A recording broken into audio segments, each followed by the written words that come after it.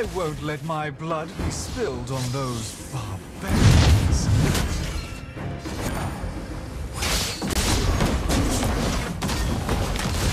In me, the tiger Slain